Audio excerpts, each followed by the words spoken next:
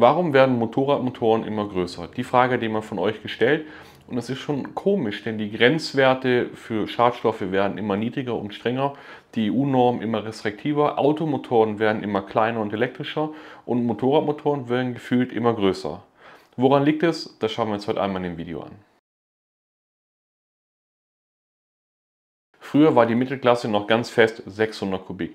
Und an Motorrädern mit einer langen Historie kann man sehr gut nachvollziehen, wie die Kubikzahl immer weiter gewachsen ist. Ein Paradebeispiel dafür ist die BMW GS. Bei der allerersten R80 GS waren es noch 779 Kubik und die erste richtige Gummikuh R100 GS waren schon bei 980 Kubik. Dann folgte 1100, 1200, 1250 und jetzt die BMW GS 1300. Nur die reinen Vierzylinder Supersportler sind in der Kubikzahl relativ gleich geblieben, aber woran liegt das?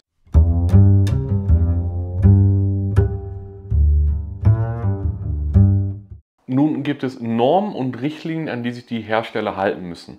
Ähm, das sind für uns jetzt vor allem die EU-Richtlinien, aber keine Sorge, das gibt es auch in den USA und China. Und die sind prinzipiell nichts Schlechtes, denn es wird ein technischer Fortschritt verlangt, was bedeutet, wir haben auch immer eine Markteintrittsbarriere für Hersteller, die sonst mit Billigprodukten den Markt schwemmen könnten. Die ersten Normen für Autos kamen so 1970 und peu à peu kamen immer mehr Schadstoffe dazu und bei den Schadstoffen wurden die Grenzwerte immer weiter gesenkt. 1997 kam dann die erste Richtlinie für Motorräder, damals angefangen eben mit der Euro 1 und jetzt sind wir mittlerweile bei der Euro 5, 2024 dann die Euro 5 Plus oder 5b. Und wie ihr hier sehen könnt, sind die Grenzwerte immer niedriger geworden. Aber da stellt man sich die Frage, stoßt ein großer Motor nicht mehr Schadstoffe aus als ein kleiner Motor? Oder warum werden die Automotoren denn alle kleiner?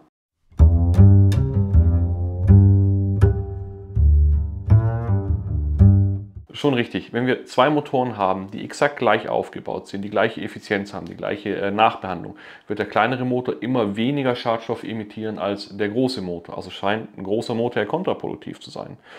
Und das stimmt auch. Würden wir die Motoren kleiner lassen, Effizienz woanders herholen als durch die Hubraumvergrößerung, könnten wir noch mehr äh, Schadstoffe sparen, würden vermutlich aber Leistung verlieren und da müssen wir einen ganz kurzen Abstecher in die Theorie machen.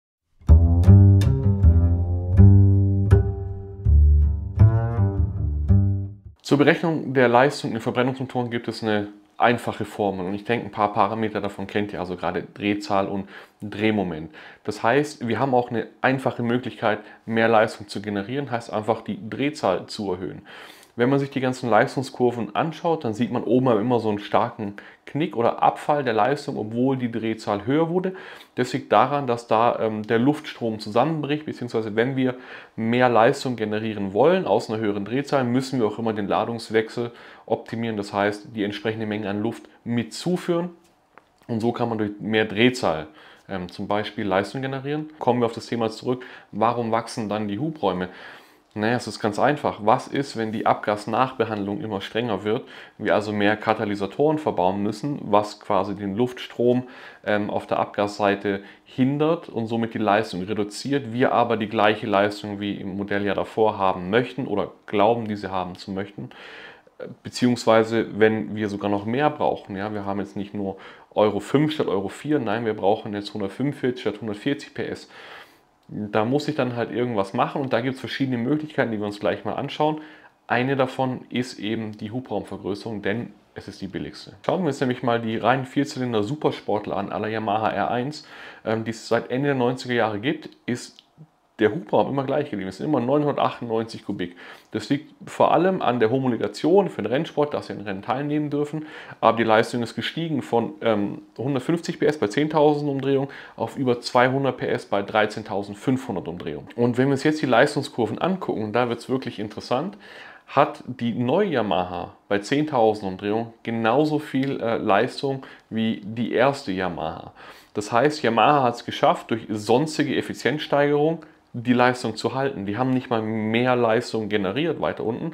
Sie haben durch Drehzahlerhöhung oben mehr Leistung gewonnen und durch Effizienzsteigerung anderer Art haben es geschafft, die Leistung bei 10.000 Umdrehungen gleich zu halten. Diese effizienzsteigenden Mittel waren zum Beispiel Umstellung von Vergaser auf Einspritzung, was die Effizienz deutlich erhöht. Das nächste, wie gesagt, war Drehzahlerhöhung und dann kam noch ein Mittel, was auch recht günstig ist, das ist die Erhöhung der Verdichtung. Problem ist, wenn man die Verdichtung erhöht, muss man aufpassen, so 10, 20 Grad vor und nach OT dass sich Ventile und Kolben nicht aus Versehen berühren. Ähm, plus wir kriegen halt ein Temperaturproblem. Heißt, wir brauchen vor allem ähm, auf der Ventilseite brauchen wir entweder Titanventile, titanbeschichtete Ventile oder äh, die Ventilsitzringe müssen beschaffen sein. Und da kommen wir den Bereich, wo wir anfangen, Materialien zu ändern. Und glaubt mir, wenn sich irgendwas an dem Motor so schnell bewegt wie die Ventile, hat kein Ingenieur Bock, da irgendwas an Materialien zu ändern. Aber wenn man eben diese Homologation für den Rennsport schaffen muss, dann muss man sich eben was einfallen lassen und da heißt halt dann die Verdichtung erhöhen und andere Materialien verwenden. Ein weiteres Mittel ist natürlich die Reibungsreduzierung, heißt Oberflächen ähm, so weit optimieren, dass die Reibung minimiert wird. Man kann dann, das hat Audi auch mal äh, nicht ganz erfolgreich versucht, ähm, an den Kolbenringen, ja, da entsteht ja die größte Reibung, ähm, optimieren, wo man halt wirklich sehr, sehr aufpassen muss. Und wenn man sich das alles vor Augen hält, was man alles beachten muss, dann denkt dann gönnt man sich einfach einen Hubraum Plus. Ne, BMW hat es ja meiner Meinung nach auf die Spitze getrieben mit Shiftcam. Da habt ihr eine Nockenwelle mit zwei Nockenprofilen. Damit kann man so eine Euronorm halt super easy einhalten. Man muss halt die komplette Nockenwelle im Fahrbetrieb einmal rüberschieben. Für mich ist das die, die äh, dynamische Vollkatastrophe.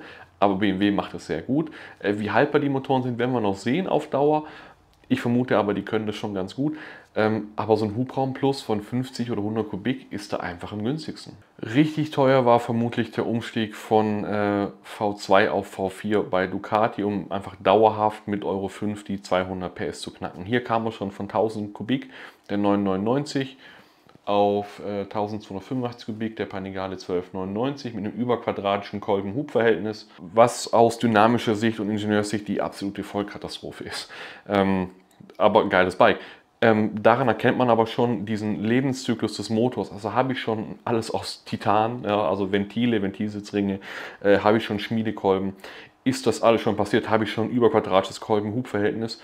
Dann merkt man, der Motor ist so langsam am Ende seines Lebenszyklus angekommen und ist auch schon 13,5 zu 1 verdichtet und schafft gerade so die Euro 4 Norm, ja, dann wird er halt die nächste Norm vermutlich dann eben nicht mehr schaffen.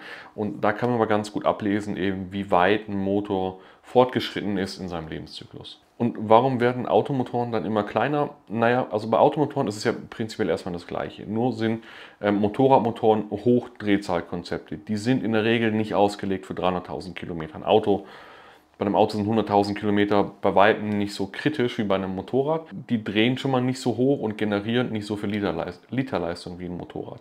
Das ist das eine. Zum anderen ist bei einem Auto so, wir haben halt mehr Masse drumherum. Das heißt, wenn ich irgendein Bauteil verbaue, was von mir aus 30 Kilo wiegt, wird es nicht so ins Gewicht fallen. Vor allem, wenn es äh, zusätzlich Leistung generiert. Das heißt, man stopft einfach mal einen Turbolader rein. Das heißt, mehr Abgasnachbehandlung plus Turbolader oder eben Hybridtechnologie. Dann kann ich einen kleineren Motor machen, der weniger Leistung hat, weniger Ausstoß, weil viel nachbehandelt wird. Und dann haue ich hinten noch zwei Elektromotoren rein auf die Hinterachse. Ähm, dann habe ich wieder eine höhere Systemleistung. Das sind so die Gründe, warum Automotoren im Vergleich zu Motorradmotoren ähm, immer kleiner werden. Und bei Sportwägen ist es so, wenn man dies nicht in Masse produziert, also ich meine jetzt nicht AMG C63, sondern echte Sportwägen, ähm, das kann man einfach ausgleichen ähm, über einen Flottenverbrauch, was bei Autoherstellern geht, was bei Motorrädern so leider nicht gibt. Es gibt bei Motorrädern eine Methode, wie man sich ein bisschen durchmogeln kann, und zwar Kleinserien. Ähm, ich meine, Ducati hat es mal ähm, in Anspruch genommen, Aprilia auch. Ähm, da kriegt man dann besondere Auflagen, die ein bisschen weniger stringent sind weil man halt eben nur kleine Serien produziert.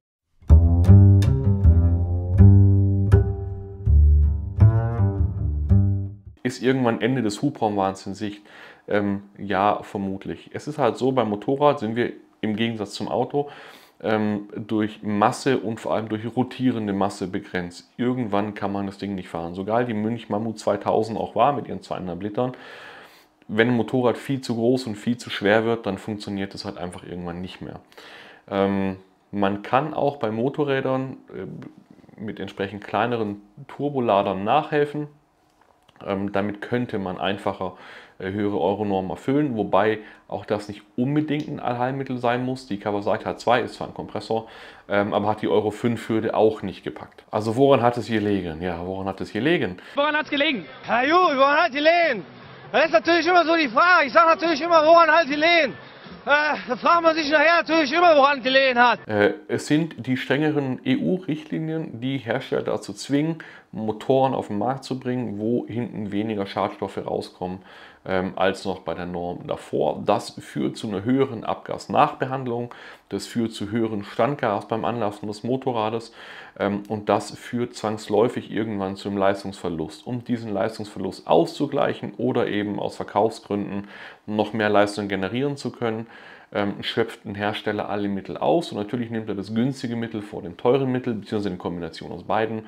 Ähm, das heißt, Hubraum Plus plus Shiftcam ähm, habe ich mehr Leistung, mehr Drehmoment und einen saubereren Motor. So einfach ist es. War ein recht großes Video. Ich hoffe, ihr hattet trotzdem Spaß, ein bisschen was mitgenommen. Ähm, dann lasst mir gerne ein Abo da, lasst mir gerne ein Like da und ansonsten bis zum nächsten Video.